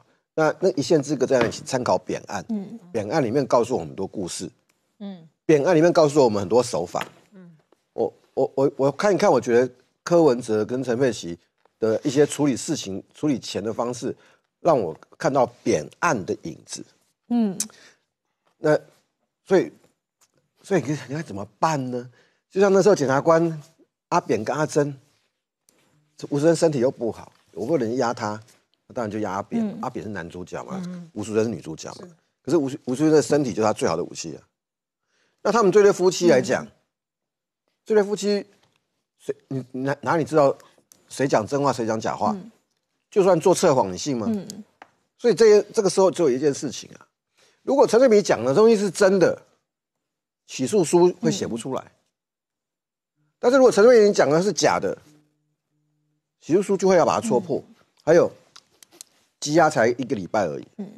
后面会有很多，还是会有动作。哦，东豪哥，我想跟你补充一下，因为就在此时呢，哦，钟小平终于爆料出什么光头两百万啊！这个光头两百万，他直接讲说了哈，这个跟这个柯文哲的这个律师，其中是肖律师有关。那其中肖律师在这个时候，你看了，因为他身为柯文哲的这委任律师，这时候很多的案外案就开始被爆出来嘛。好，那根据钟小平的披露呢，说是相关呃私下这个私人的私德的部分啊，说跟当事人安娜。啊，那然后有光头两百万，能霸完起这类艺术，然后我们是阿北收两百万。我想问一下，萧逸宏本身现在也一直被大家讨论说，阿北现在这个钱的部分呢，可能会有所谓的虚拟货币，可能会有冷钱包。那其中啦，萧律师哦，现在呢成为这个热头上的这个人物呢，他也是在这个部分攻防很重要的一个律师。这个东豪哥怎么看？我我我对萧逸宏那个光头根本搞不清楚啊，嗯我不晓得个。为什这个有没有人？我我这个我真的不了解。肖律师跟他的当事人呢，就是有钟小平的爆料，嗯，对，钟小平爆的，嗯，就是有感情上的联系，然后就可能日久就生情，就给了两百，他要情欲的连接了，对对对，情欲流动了，然后呢就跟原配要离婚啦之类的，就是都私德部分跟阿贝。没有关系。好，这件事情就已经解密了，就是跟阿北无关呐。哈，好结案，哈结案。那真的有光头两百吗？嘿，就就是不就跟阿北跟阿北就是邱律师有被索赔两百万。哦，肖律师被索赔两百万。对，好，那当然比较重要的是肖律师的这个呃，当事人金融专业啦，黑啦，肖律师的金融专业这件事情，他是资讯专家，金融专业，这次特别被他点名出来，而且他是老师级的人呐，就是说他常他可以当这个老师去教大家说，哎，这个虚拟货币啊，等等等等的。那所以说阿贝请了这样子的律师，看起来应该是有这一个部分的需求。那如果你要离，就是像是昨天我们讲的，如果你要离婚，你当然请离婚专业的官司。然后如果你要做什么这个产呃不动产买办，那你要找不动产专业的律师。对。然后可是你为什么会在这个案子当中会需要虚拟货币的专业律师？这个很奇怪哦，确实哈。喜欢鸟啊。嘿啦，尤其人家说那个大密宝就在阿北的胸前吗？哦，尤其然后，但是呢，有关于肖律师最新这个爆料呢，目前还没有取得肖律师本人的这个回应。当然，我们要跟他求证一下。那当然，这个哈是钟小平爆料的。好，我想问一下思琪，思琪哈，刚刚我们在讨论是律师的部分，但是啦，听说昨天科线记者通通都炸掉了，通通都崩溃了，因为你那时候正在做新闻，你做到一半抬头一看。完蛋了，撒尤那拉，陈佩琪竟然接受专访了，完全你们好几位通通都被漏掉了，这到底是什么神操作？我自己以前是跑线来的啊，如果是我，我主管绝对把我电到飞呢。我觉得真的是谢谢主管，因为他们也知道，可能这个情况也不是我们可以控制的了啦。因为昨天我们当下看到的时候，真的是非常的吓一跳，怎么会是漏掉了一个专访？因为当下的时候，我们也是发现，哎，怎么会是这三家呢？我们也马上在这个群组里面就赶快来问这个群党中央到底是怎么一回事？怎么会陈佩琪有安排专访没有告诉我们？因为过去他们都是说这个剪掉就是图利特定的媒体，然后说他们清清白白，然后呢是公开透明。我是当下就。觉得非常生气，因为觉得说，如果既然是清白、干干净、透明的话，为什么不接受大家的提问呢？我们有很多的问题啊，不过我们也是马上去了解哦。他们的意思是说，呃，其实这几家是有事先想要他陈佩琪来解释一些金流的部分，而之前呢，陈佩琪是担心说会有串供的问题，所以他一直不敢出来讲。然后他后来呢，他就有去询问律师，说：“哎，这样子会有问题吗？”律师说：“OK，OK。”之后他就说 “OK”，那他赶快去调一些资料，所以才会有那天说有台北市民在这个临柜看到陈佩琪，嗯，其实就是。陈佩琪他去调资料，而且后来他调资料之后呢，他调到昨天，终于啊完全调完了，然后就由党中央这边赶快临时来通知这些记者说，哎，我们现在 OK 了，你们要不要来访问？所以呢，昨天才会临时有这些记者被约到这个专访，说希望可以让陈佩琪来讲清楚。不过大家应该也会好奇，为什么不开记者会？因为呢，他们其实是会担心说，陈佩琪可能面对一些比较极端的言论或者是问题的话，他情绪可能会崩溃。所以呢，党中央这边看感觉是考量，就是他现在不太适合面对大型记者，因为昨天大家去那边好像都有说有感受到他情绪是比较不好，他们怕他会崩溃，然后可能讲一些比较 out of control 的话。对，不过大家也有发现，就是真的很厉害，大家从这个窗户里面发现了佩呃，就是陈志涵在比 OK。然后就很糊，但是他们有一个在比 OK，大家说是不是他想要控制发言啊，或什么？但是他们这边的解释是说，其实是要问大家说，哎。你们问完了吗？OK 吗？可是我们也有发现另外一句，就是在这个影片里面，陈佩琪她那时候被问到，其实他已经感觉有点疲倦，他就说：“哎，这记者会有时间限制吗？”然后志涵姐就出来说：“哎，我们再回答一题还是全程去控场。”对对对，所以其实感觉得到是陈呃陈志涵在就是整个 control 这件事情，然后也有来保护，算是保护陈佩琪了。嗯嗯，好，那个谢谢思琪。那我们可以看到呢，说这个陈志涵，然后当场在现场直接来做了一个哎。直接来做了一个控场啊！那这个时候人家想说啦，为什么不让大家一起把它问完呢？好，接下来我们要来看的是呢，我们刚刚提到说什么光头两百万的那个肖姓律师，现在我们也已经知道说那个是跟阿北的案子是无关的。哈，他一嘎嘎给待机，哈，这个就结案。但是我们说到这个光头的这位律师，哈，肖律师，他的作用到底是什么呢？他是要替阿北来处理所谓的冷钱包、阿北的虚拟货币吗？关键是不是就在 USB？我们知道所谓冷钱包，也就是所谓的加密货币，是存在这个 USB 里面吗？陈佩琪被问到这个了，问 A 答 B 又出现。他使用 USB 的习惯会用在什么用途上？他会使用又不我不晓得，我知道他常常喜欢看那个那个什么量子力学。他每天在车上就给我看量子力学，我说你再小声一点好不好？他就喜欢看量子力学，这样子，整天上车就是看量子力学。就用用手机 USB 这些内容，就 i iPad，OK，嗯，他就喜欢看量子力学，整天就看那个而已。好，我想要问一下这个一中老师哦，这个这个这个专业可能就稍微要问你一下了啦。陈佩琪被问到说这个 USB 的时候呢，我觉得他好像真的还蛮避重就轻的。USB 里面到底藏有什么东西呢？他说阿北常常在看量子力学啊，在车上呢每天都给我看量子力学，用 iPad 整天就是看那个而已。但是为什么一再被讲说所谓的呃加密货币？因为沈庆金，包括说吴子嘉董事长一再爆料说沈庆金很喜欢去澳门赌场，他也会使用什么泰达币。币呀，什么币呀？啊，这个币来币去，会不会就跑到阿贝的 USB 去嘞？其实昨天记者甚至很客气，他只是问陈佩琪说：“那阿贝会用 USB 记账吗？”他只是问这个小问题而已。陈佩琪说：“哦，我不知道啊，以前跟他讲家里的钱啊，他都摇摇手叫我不要讲啊。我对他就是不太了解，不太会啊。哦，因为我每次跟他讲话，他都觉得我好啰嗦，就闭掉。然后记者问他说：“那柯文哲使用 USB 的习惯？”会在什么用途上呢？然后陈佩琪就直接说：“他说我不晓得啊，我只知道。”柯文哲阿贝很喜欢看量子力学，他每天都在看量子力学，车上也看，他的 iPad 也看，就问 A 答 B。就显然这个 USB 这件事情，陈佩琪昨天可能他们塞稿的时候没没有塞的很清楚，所以当记者丢出来这个话题以后，陈佩琪就闪掉。那为什么我们特别讲到 USB？再加上为什么柯文哲要找这个肖义宏律师？因为他本身也是这种那个所谓的虚拟货币的专业。因为这里面可能大家在怀疑，就是说柯文哲为什么那么重视那个 USB？是不是有可能机场的来对？这边给大家一个小科普，就是讲，一般我们来讲虚拟货币来讲，如果你有买虚拟货币的人，你有两种钱包。一种叫做热钱包，热钱包就是用手机的 app，然后存存取，就是你基本上就是用用 app。那另外一种叫冷钱包，就是存在 USB。那你说到底是哪一个？看起来很明显，哪一个方便？一定是热钱包方便，因为热钱包随时。但是热钱包有个问题，就是说它虽然存取方便啊，然后有些人会买那个买那个虚虚拟货币在那边做交易的时候，它的缺点就是它容易被害，因为它可能它它它的那个资料在云端，容易被害。那相反的。如果你是用冷钱包的话，因为它基本上它它没有连线，所以它的相对它的安全度会比较高。但是就麻烦了，你打开被铁金的时候，你容易用 USB，然后 key 密码，甚至还要你的人脸辨识跟你的指纹辨识，就麻烦了。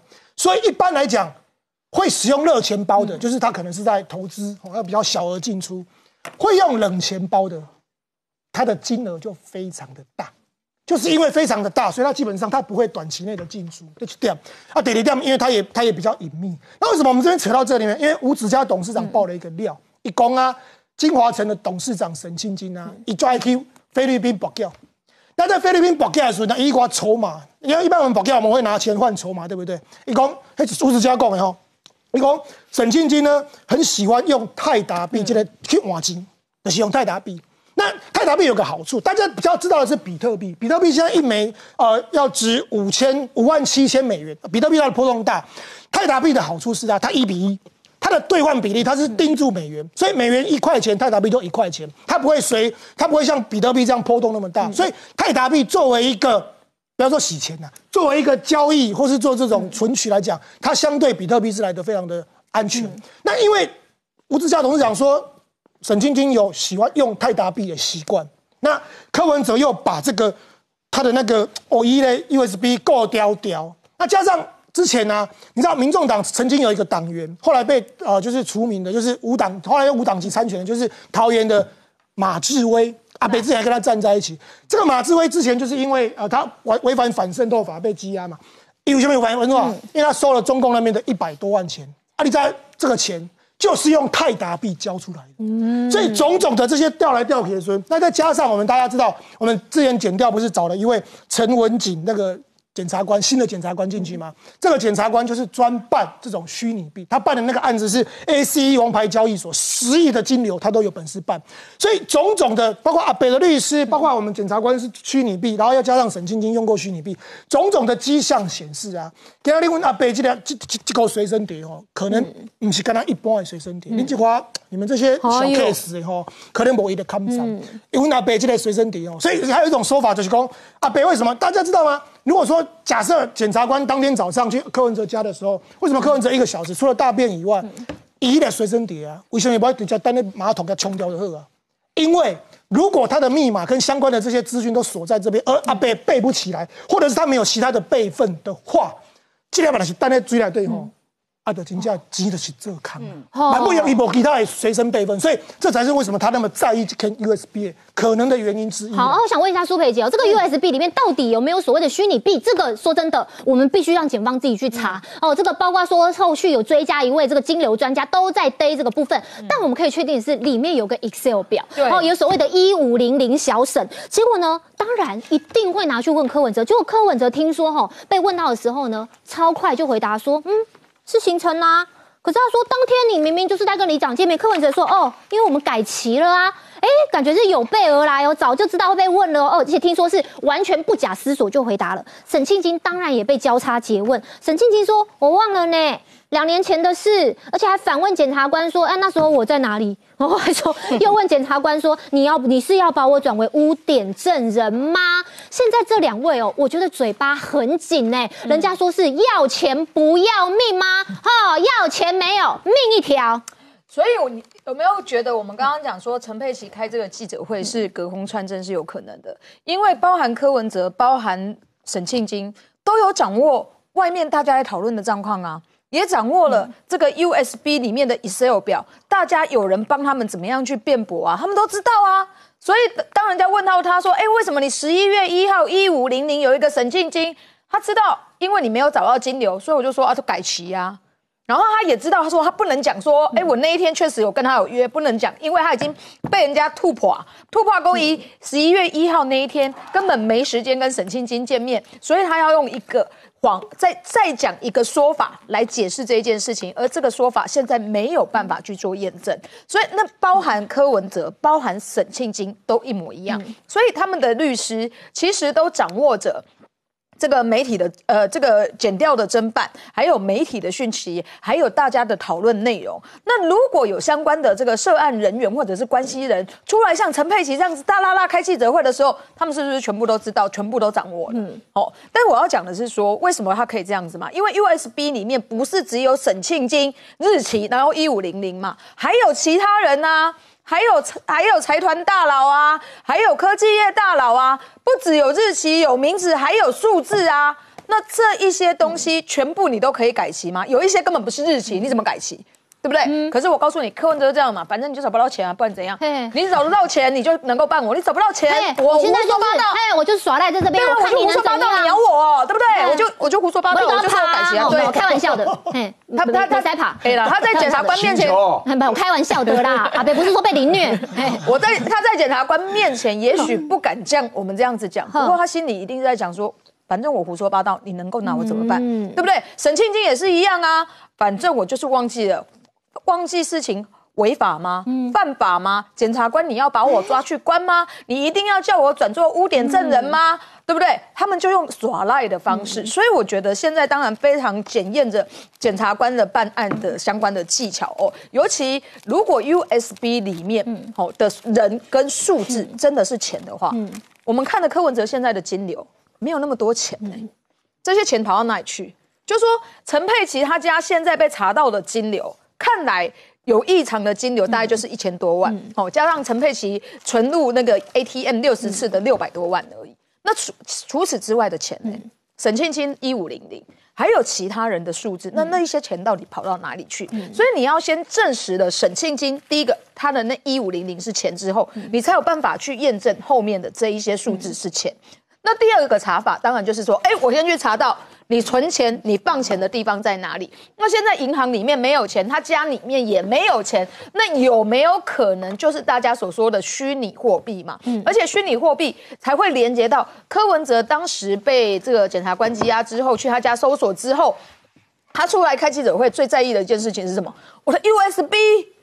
检察官拿走我的 USB 了，USB 不是电脑哦，是 USB 哦。他一定会拿 USB 编故事。是，而且他的 USB 比木可的。电脑还要重要，那时候木可不是也被收走一台电脑吗？他对那个电脑没有什么感觉，那电脑里面全部都是账哦，他感觉没有那么深。可是他很在意那个 USB，所以那 USB 里面到底藏了什么东西？有人说有可能是金钥，不过昨天 Grace 跟我讲说金钥放在那里面不太可能，哦，因为你知道吗？他那个 USB 会一直插进去抽出来，插进去抽出来，它如果坏掉了。他就可能派皮啊，你让他挤了摩皮啊呢，所以他不可能放在那里面。那那里面有什么样的数字？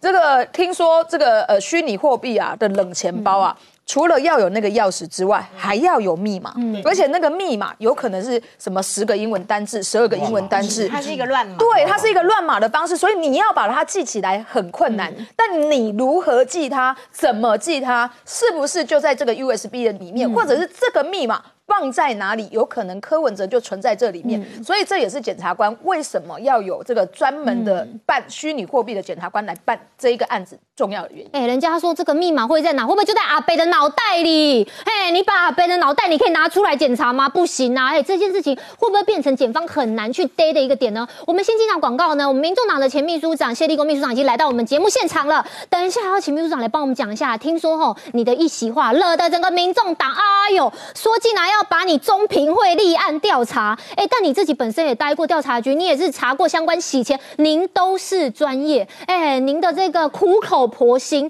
哎，您的真的真的是良药苦口，然后民众党就是吞不落了。我们先进广告，稍后继续讨论。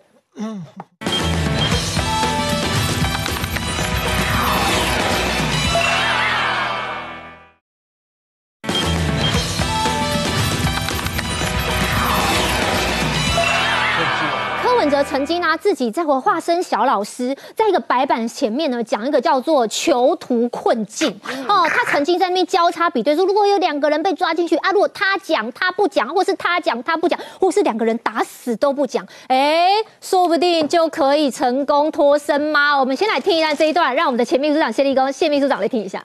我跟你讲哦，真实的人生，你知道，通常只要被抓进警察局，结局都是两个都认罪，除非你知道哈。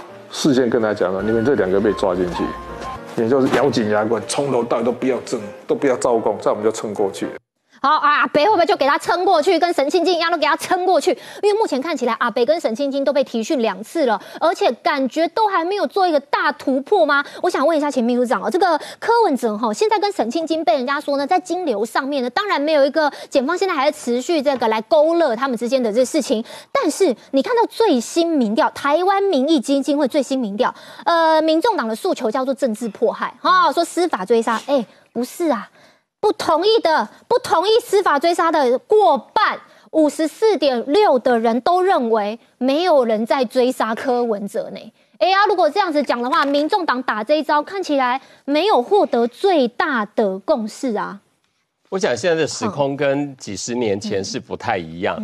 我觉得不要动辄以政治迫害或者是司法不公作为诉求，但这。这次的案子里面，我也必须说，其实程序上面还是有很多的瑕疵。从一开始搜索中央党部，因为那时候说没有他的柯文哲个人办公室，还搜索，其实这有问题。然后到了北检，法警需不需要上手铐？因为其实，在那个地方大概也没有人可以脱逃，外面人也进不去，所以上手铐，老实说有问题。再加上后来就是这个所谓的一五零零。怎么会外泄出来？所以就是讲到侦查不公开。如果从这几个点来讲的话，当然我们觉得程序上面是有瑕疵的。但是如果说到事情披露出来，那陈佩琪公公卡贼呢？嘿，啊，你有看到昨天那一场哈？一下面都供出来啊？这个我不知道他跟检察官之间的默契是什么。通常检察官你出来人会跟你说，你就对记者说，因为检察官有交代，这个我们不能够公布。但是一唠唠讲呢？对。所以我觉得这次案子双方是不是在做负面的示范？一边好像一直把一些讯息，到底也不知道谁泄露出来，但是能泄露出来的，不是减就是连嘛。但法法官我觉得不太可能，因为通常是这个是办案单位，他有这些资讯，他为了有利于他日后的办案，有的时候会放出这些讯息。如果过去有这种习惯，我觉得这是一个很好的机会，就是赶快把它改正吧。哦，那因为其实这是不对的。那您怎么看？说您之前曾经提到说，因为柯文哲在所谓的裁定书上面的第一句就是柯文哲呃有这个承认部分的事实，你是咬住这一句，你认为说，哎，所谓提出了认罪协商，哇。惹火全部的小草跟民众党吗？民众党现在竟然要立案调查你？哎，不对，因为您本身是相关专业，你更是曾经这个洗钱相关的这个呃这个罪嫌相关的专家，你都知道怎么调查，你也知道进到里面阿北会面临到什么样的拷问。结果没想到你提出你的想法，现在竟然是阿北不用被调查，你要被调查呢？我我跟你说，你去看那个第二次裁定书第一段以及最后一段，其实都点到了这一点，也就是说，他没有否认部分的事实。我觉得这个法官他觉得这一段不可能乱写，他如果乱写的话，三位律师当场一定就会有意见，对不对？所以可见他的确他是有针对某些事实，他是没有否认。那我的意思就是说，针对你没有否认的部分。其实你可以把它讲清楚，展现的是一个态度，而且我甚至说，我们不要讲说犯罪后态度良好，这一定有人要攻击我了。你怎么觉得柯批是犯罪？我只是说态度良好，因为在侦讯的过程中，只要还没有起诉、没有判刑之前，当然就是无罪推定。可是以检方或者廉政署办案的人来讲，他一定是找你有没有违法的事证。他是攻击方，那你是防御方，你一定会去做一些 defense，就表示你没有。我觉得这个都完全合理。可是呢，如果真的已经有这样写到，那我是基于我过去的经验、专业，我实在是良心的建议。但这个话就引起大家很不满，忠言逆耳啦。哎，对，有人说是空谷足音啦，有人说我是乌鸦啦，什么都有，那都不重要，那个那个都形容词了。有个动作了，叫中评会了，那个呢就是他实际要帮我送去要立案调查。不过我觉得这个真的是，民众党不是一人政党吧？柯平每次都说，对不对？就算是一人政党开始，也不会最终也是一个人政党。所以大家应该都有言论自由啊。而且我是用我的专业经验来提供一些建言。你要想我的出发点，如果看我的脸书，我也不是只有四个字，我是有六个字哦。差别在哪里？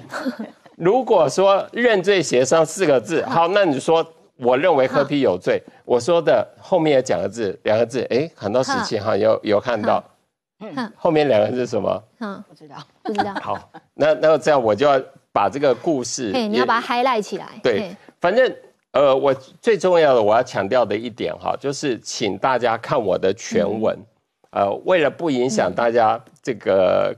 更多时间，我觉得在讲专业的事情，小草也不会去去去他们现在只想要听放人、放人、放人、放人啊！被无罪、无罪、无罪、无罪。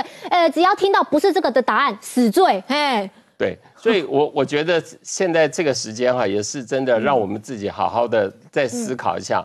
因为如果你与其要在土城待两个月，甚至如果还要延压的话，其实民众党没有科批。外面会一一团乱。嗯，如果他能够早一点交保，其实我觉得这是比较好的诉讼的策略。所以我是建议大家，真的，呃，小草们不要一直一直来围攻我，每天讲那些哈，其实我都看到了。我只能说，你们就仔细看看我全文。如果你看不懂，你就去问那个学法律的。或者律师一定有很多都懂我的原意是什么。你这样一直出征，我是没有办法解决问题的。我们真的要解决问题，如果阿贝可以早点出来，不是你也高兴，我也高兴吗？所以你们不要把我想成科黑，难道你们一直要逼我变成科黑吗？我就说我不是科黑啊。但是为什么？欢迎加入我的行列。每天一直要。我要扛，我要扛。可是我觉得这个才是科黑诶。嘿，哪一个？因为这是陈陈正涵跟黄国昌他们在直播节目上面，黄国昌有说啊，本来我因为中秋节快到了，我们这些民意代表都需要去办一些活动，要烤对糟托啊、烤肉啊，啊现在没办法，主席因为在里面那个气氛上面很不适合这种欢乐中秋烤肉去这种活动，然后呢，这个时候主持人陈正然说。啊，不然这样好了，我们来去北所门口烤。啊，有而且要五告地狱呢，看起来也是蛮开心的啊。这个我觉得才应该列为科。这个这个谢 谢立功前秘书长根本就不够格当科。对，没错啦。这个就直接给他打脸。我们在在北所外面烤肉，人家烤肉喝酒，苦酒满杯。对，哎，可是阵阵的烤肉香，我们扇子扇一扇，而且新北有没有有黄国昌的专属扇子？扇扇扇扇扇，又阿贝来喊鹅啊啦。然后那个烟有没有？烤肉香就飘进去，一家烤肉万家香，一家烤肉阿北觉得很香啊，是折磨啊，没错没错，所以啦哈，我们先记一下广告，但是同时我们来听一下实习姐刚刚讲的那一段，西在哈。呃，我自己身为这个没有那么认同阿贝的人哈，我听到那一段，我想说哦，有够狠的，怎么会讲这种话嘞？我们先进广。广告。听完之后先进广告，稍后我们让上工再来继续分析。你说对我们的工作会不会有影响？当然有影响。譬如说中秋节的时候，中秋节的时候我本来是有规划要办一些中秋节的活动，嗯，但我现在就没有心情办那个活动。是啊，我们的主席在台北看守所，然后我在外面办中秋烤肉的活动，这什么跟什么？是我们去北所外面烤。没有，但我这样讲，我今天早上真的有想到这件事。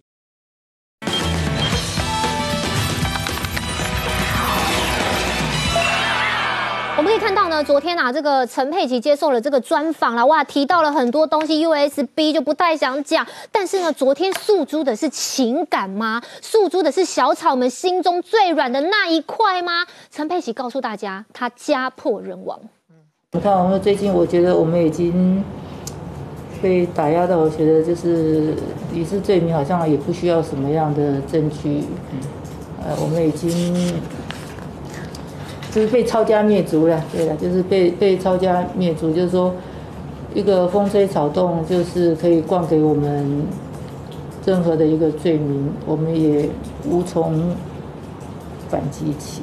大家是不是可以饶过一些无辜的人？因为我现在已经现在没有什么证据之下，都已经被羁押了。那小孩子现在都。世上各地，也不敢回家了，所以整个家就是抄家灭族，但的确也达到效果了。我们就是已经家破人亡这样子。我我想问一下上公，这个是个金华城的案子，我们在讲的是所谓的财图利财团两三百亿的一个案子，怎么会最后变成柯家被抄家灭族、家破人亡啊？不就现在只压柯文哲一个人吗？他儿子、他女儿目前没有事啊。陈佩琪为什么要说所谓的抄家灭族？甚至呢，诉诸的是一种他们被打击，他们被怎么样？不对呢，现在是九月，两个月前陈佩琪还在晚风凉凉看豪宅呢。当然了，这个。就不是就不是讲给你听的嘛。哦，对了，对，就不是讲给你听的嘛。嗯，当然，各位呢，他说子女四散，那子女不是都在外国念书，本来就四散在日本跟美国嘛。而且可以叫回来，而且不是飞机票都是自己买的，那可以叫回来，对不对？对不对？那你这这个这个金华城的案子，抄家灭族，这个里面，那柯文哲那个陈水扁当时。更狠呢？是啊，柯文哲当时更狠呢。哎，陈水扁压进去以后，一直到马英九特色才出来，不是特色吧？保外就医，保外就医啊，他没有特色啊。对，保外就医，对啊，他是他是快要马英九当选总统之后，把呃那一年的十一月十一号压收押嘛，嗯，一直到马英九要卸任之前，马英九总统当八年，陈水扁做七年呢。嗯，什么叫抄家灭族？我想。这个字词当然是延续在民众党里面所谓的司法破坏、迫害的一种形容词嘛，形容词嘛。当然你说，呃，抄家灭族，我觉得也过于过于严重了。但是问题是，他就不是讲给我们听的嘛。他诉诸的是一种苦情牌嘛。是啊，是啊，当然是啊。柯文哲，柯文哲去年自己在街头上自己喊的，哦，不要贪污嘛，会祸延子孙嘛。然后还有什么良心给狗吃了嘛？他说哈，如果赚这种钱哈，家孙没喝啦。对啊，那你为什么去碰金华城？嗯，陈佩琪哭什么？嗯，你应该去问你老公。嗯，你怎么去碰金华城呢？嗯，你不碰不碰金华城有这个事情吗？而且我补充一下哦，他刚刚讲说的，我下面证据啊，就给我们压成这样。哎，拜托。有多少？第一个，他自刚刚自成，对自己说他对于土地这件事情，在这个法的检法官的这个羁押。裁定书里面已经有写了。第二个，包含彭振生，包含所有的台北市的公务人员，全部都说是市长积极介入，还有包含现在秀出来那么多的资料，柯文哲自己亲笔下便签，要求下面的同仁积极办理，还越快越好，还要当面立即谈，这难道都不是证据吗？哎呦，他就不是讲给讲讲给是啊，可是我们一定还是要讲出来，这些都是证据，有人证有物证，就是陈佩琪不认嘛。是是，我觉得我觉得不重要。两年以后，嘿，科比在台北市有四个市议员，这四个都年轻人，你到时候你在这这四个市议员你要选连任的时候，你要怎么告诉台北市你的选民？哎，金华城是对的。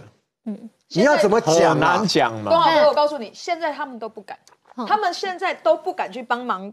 柯文哲讲说这是丢呀。那那个陈佩琪装什么可怜？所以陈佩琪现在讲的呢，通通都是金流啊，跟他无关呢。但是图里的部分，只字不敢提，只敢说阿贝是无辜的吗？我们先进广告，稍后我们让来宾继续论述。然后，然后。